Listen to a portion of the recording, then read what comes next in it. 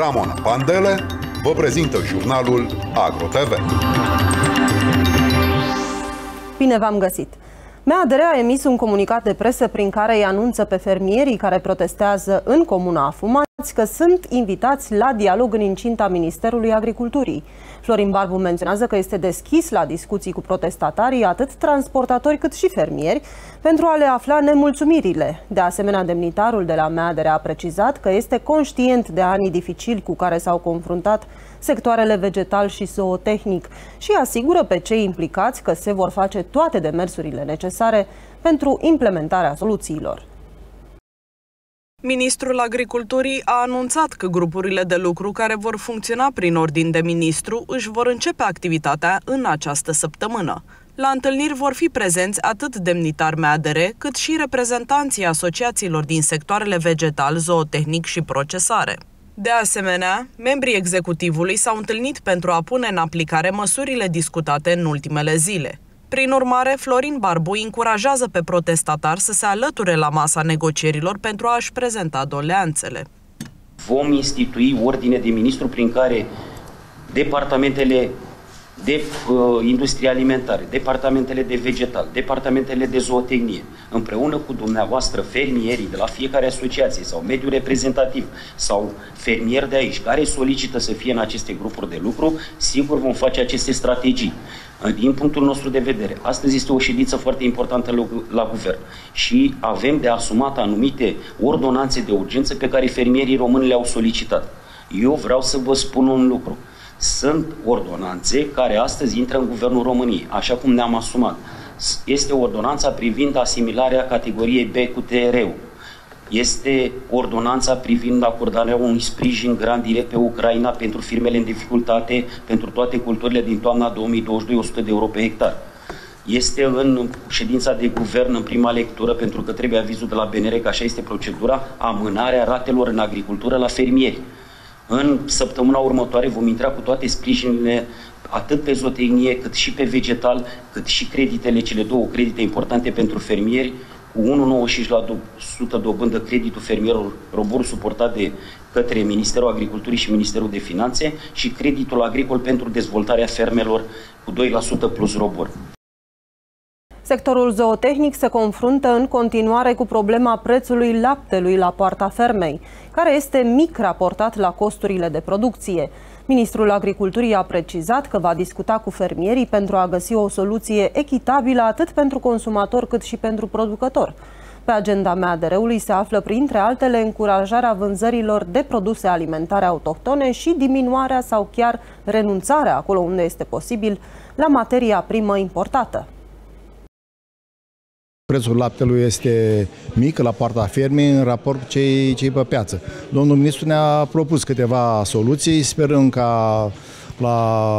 Care sunt aceste soluții? Aceste soluții sunt ca să intervină la retailer cu 20% și la producător tot uh, uh, cei care procesează laptele cu tot 20% să scadă prețul, în așa fel ca prețul la lapte să, să, să vină la partea fermei, da? să fie real, practic.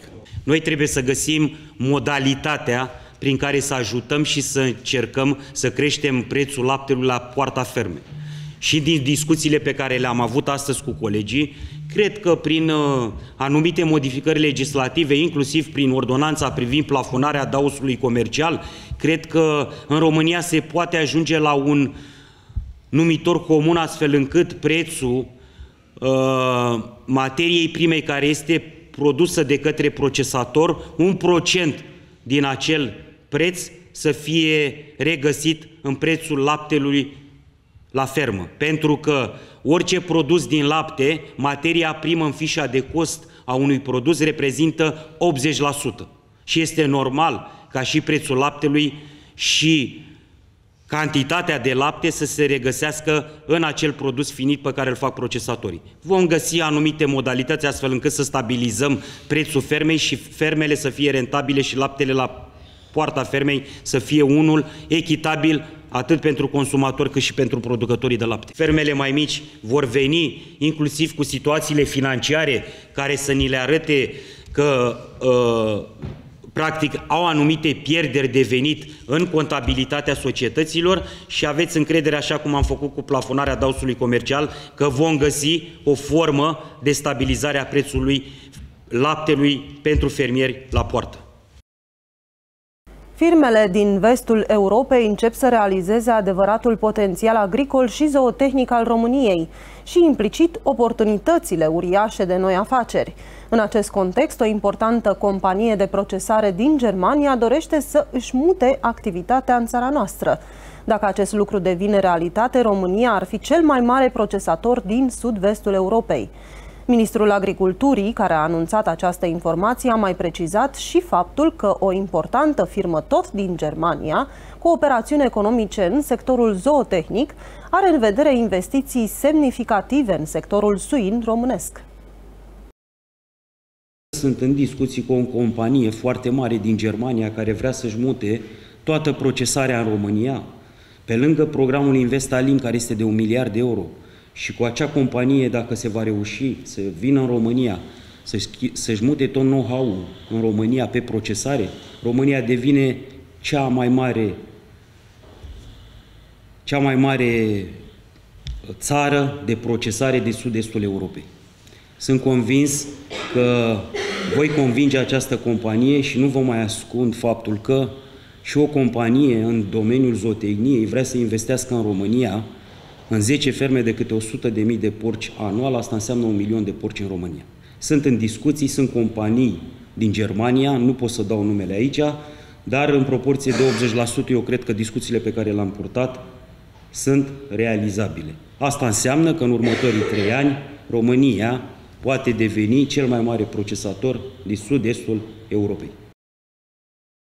Anul acesta, fermierii care vor să-și cumpere mașini și utilaje noi vor putea face acest lucru accesând fonduri europene prin intermediul liniei de finanțare DRE13, dedicată achiziției de utilaje pentru sectorul vegetal. Deși momentan nu există informații cu privire la criteriile de eligibilitate și grila de punctaj, fișa intervenției DR13 din PNS, precum și liniile de finanțare lansate anul trecut, ne oferă câteva indicii cu privire la ce îi așteaptă pe fermieri. Fermierii care vor să-și cumpere tractor nou cu fonduri europene trebuie să fie organizați ca persoană fizică autorizată sau persoană juridică. Acum, fiecare finanțare are criterii diferite, dar, pe de altă parte, putem să ne facem o imagine uh, de ansamblu, chiar dacă unele ghiduri nu sunt încă lansate în, uh, nici măcar în dezbatere, Uh, sigur că nici ghidurile finale nu vor fi publicate prea curând, uh, dar putem să ne facem o imagine de ansamblu. Uh, pe baza celor care sunt deja uh, disponibile în acest moment, care au fost lansate și discutate, se poate observa faptul că uh, în cadrul fermelor contează uh, foarte mult dacă terenurile, animalele sunt deținute în proprietate. Sunt uh, uh, și pe zootehnie în acest moment, se punctează uh, în, uh, se, se acordă un punctaj în funcție de cât la sută din terenurile uh, din exploatație sunt deținute în proprietate din, num, din numărul total de hectare. Și atunci, dacă există posibilitatea ca în continuare, până la depunerea unui proiect pentru ferme mici, pentru alte linii de finanțare, pentru utilaje în uh, sectorul vegetal, dacă există posibilitatea să se transfere uh, proprietatea de la persoană fizică la societate, uh, să se facă acel patrimoniu de afectațiune și așa mai departe, să se facă, pentru că este un punctaj care nu trebuie ratat, trebuie obținut ne, ne acordă șanse foarte bune pentru a primi finanțare. De asemenea, sunt eligibile cooperativele agricole, precum și grupurile și organizațiile de producători. Valoarea maximă a sprijinului din fonduri europene este de 300.000 de euro pe fermă, cu o intensitate de 65% din costurile eligibile. În emisiunea Agricultura la raport, consultantul Marian Dumitrache a oferit mai multe informații cu privire la aceste condiții pe care trebuie să le îndeplinească fermierii pentru a-și maximiza șansele în a accesa fonduri europene. Fermierii ar trebui să ia în calcul să se înscrie într-o formă asociativă. Uh, este un lucru important atunci când forma asociativă depune proiectul în nume propriu, are un punctaj maxim, dar nu trebuie neglijat nici punctajul pe care fermierul îl obține când depune proiectul în nume propriu și atașează o adeverință din partea unei uh, forme asociative pentru că este membru. Ministerul Agriculturii și Dezvoltării Rurale a publicat pe site-ul instituției proiectul de ordonanță privind instituirea schemei de ajutor de stat de 100 de euro pe hectar destinată fermierilor din sectorul vegetal. Potrivit proiectului de act normativ, această intervenție se acordă pentru suprafețele de teren arabil cultivate în toamna anului 2022 pentru un număr de peste 160.000 de fermieri. Beneficiarii eligibili pentru subvenția de 100 de euro pe hectar sunt producătorii agricoli persoane fizice, producători agricoli persoane fizice autorizate, întreprinderi individuale și întreprinderi familiale producători agricoli persoane juridice, indiferent de statutul lor juridic sau de modul lor de organizare. Organismele, organizațiile de testare a soiurilor, de cercetare, respectiv universitățile, institutele și stațiunile de cercetare-dezvoltare din domeniul agricol, indiferent de statutul lor juridic sau de modul lor de finanțare. Condițiile care trebuie îndeplinite de beneficiari, să fi depus o cerere de plată în anul 2023 pentru o suprafață determinată de minimum un hectar. Pentru una sau mai multe dintre culturile prevăzute în anexa numărul 1, până la termenul limită de depunere din anul 2023. Nu sunt în lichidare sau în faliment la data depunerii cererii de solicitare a ajutorului de stat. Pentru a primi subvenția, beneficiarii care îndeplinesc condițiile trebuie să depună la centrele județene locale ale APIA o cerere de acordare a grantului, însoțită de copia documentului de coordonate bancare, numai în situația în care acesta a suferit modificări față de cel înscris în cererea de plată pentru anul 2023. Cererea de acordare a grantului direct și documentele necesare se depun în termen de maximum 30 de zile lucrătoare, începând cu a cincea zi lucrătoare de la data intrării în vigoare a ordonanței.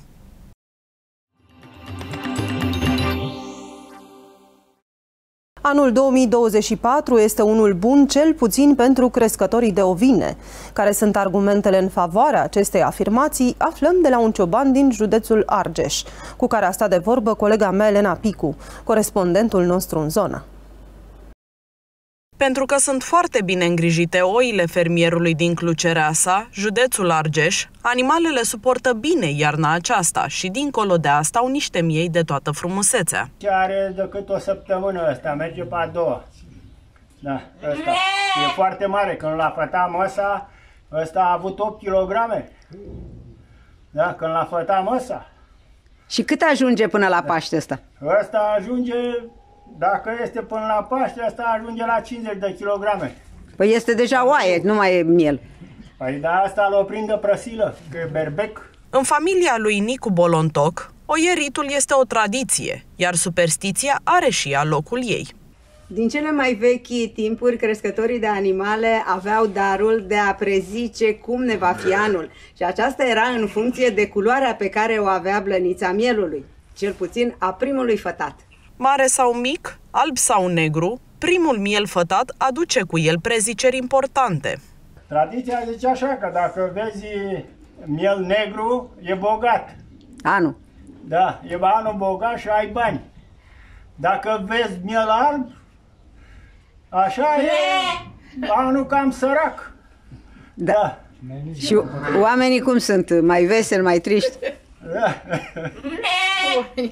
Mândria ciobanului este greutatea considerabilă a mieilor proveniți de la oile sale și tocmai de aceea a făcut eforturi să aibă ovine din cele mai speciale rase, chiar dacă s-a deplasat la sute de kilometri distanță pentru a le achiziționa. Păi am furat telor, că nu mi-a plăcut mie, că sunt mai mari, mai producție mai mare la ele. E și româneștile, dar de, oile românești ale noastre era mai micuțe. Astea sunt mari. Da. mai osoase? Ă, spuneți-mi vis-a-vis de adaptare la frig, cum, cum se comportă? S-a climatizat. Acilea la noi aproape s-a climatizat, dar ă, la munte nu, nu durează asta. Și în turmă mare nu durează. Nu durează, că sunt, ele sunt moi și merg încet. Ele trebuie să mănânce, să stea numai pe loc. Și pretențioase să mănânce greunțe, porumb. Asta nu e oaia ca să mănânce numai fân, fân. Asta trebuie să mănânce câte 3 kg de porumb de una, că sunt mari. Nu sunt oi mici. Și pe... Alții nu le dă nici să-l porumbul. Și pe lângă porumb și fân, ce le mai puneți? Sare, apă, ce le puneți? Păi le punem apă, sare are în continuu, apă în continuu, le dăm uh, o tavă, le dăm lucernă, le dăm fân, le dăm uh, boabe și la miei le facem huruială, le dăm și lor să mănânce huruială, grâu cu porumb și după aia le dăm și boabe, că mâncă și ei boabe. Cu așa îngrijire, miei vor atinge greutăți considerabile până la Paște, mai ales că până atunci mai sunt aproape patru luni. Asociația Galna Poca Porolisum anunță încheierea cu succes a proiectului Erasmus Plus Rural Youth Parliament. Echipa proiectului s-a reunit într-o conferință de presă pentru a împărtăși rezultatele și impactul proiectului cu presa, oferind informații detaliate despre realizări și despre perspectivele viitoare. Proiectul Parlamentul Rural al Tinerilor, inițiativa Asociației Grupului de Acțiune Locală în Apoca Porolisum, a demonstrat că atunci când tinerilor din zonele rurale li se oferă un cadru adecvat, aceștia nu numai că se deschid și se implică activ, dar au și o mulțime de idei valoroase. În cadrul conferinței, reprezentanții Galului au prezentat procesul prin care s-au identificat și implementat soluții practice și inovatoare pentru implicarea tinerilor în procesele democratice și pentru dezvoltarea comunităților rurale. În fiecare zonă s-a format un parlament. Fiecare zonă de dezvoltare, sunt cinci zone. Și în acest sens, ca să se formeze acest parlament, s-au făcut niște evenimente în care uh, grupul de acțiune locală Gana Caporolisum a invitat diferite persoane uh, ca să învețe anumite abilități. De exemplu, a fost pentru public speaking, pentru creșterea încrederii în sine, uh, dezvoltare personală.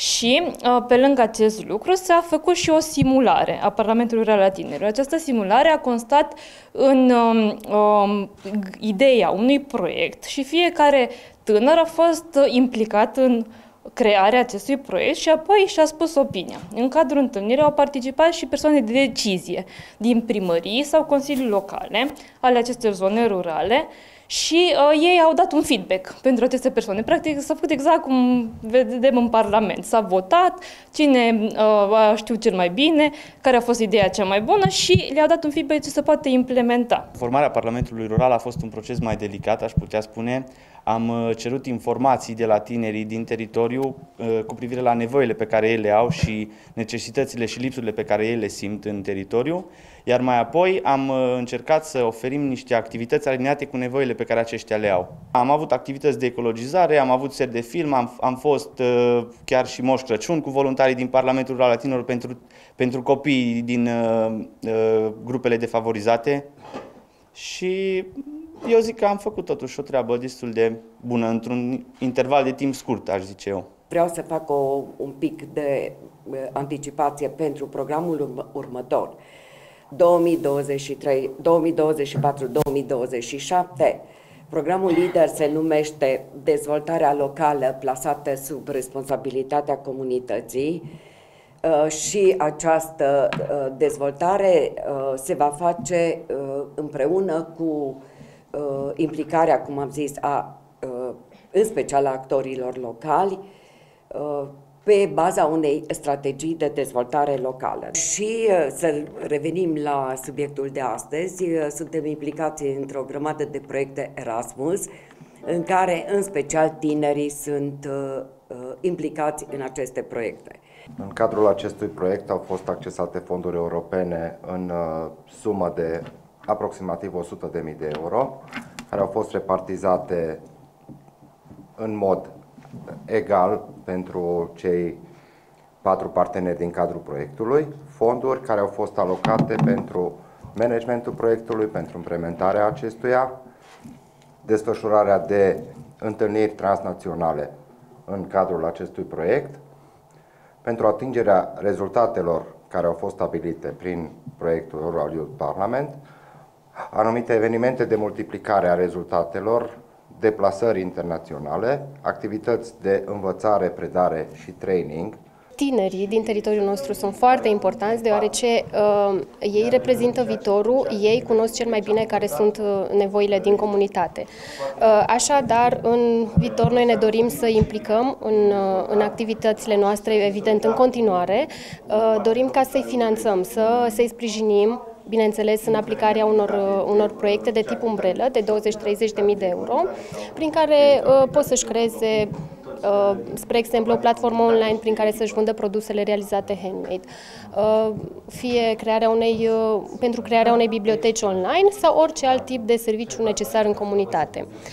De asemenea, dorim ca să-i, să implicăm în implementarea unui proiect de cooperare transnațională, în care vom avea parteneri atât galuri din România cât și galuri din Europa, Uh, și ne propunem prin, uh, prin acest proiect, ne propunem ca să uh, realizăm activit activități cum ar fi o tabără recreativă pentru tineri, cu tinerii din teritoriile tuturor partenerilor și unde vor avea, evident, posibilitatea să se cunoască și să își afle gândurile și ideile și nevoile din teritoriile lor.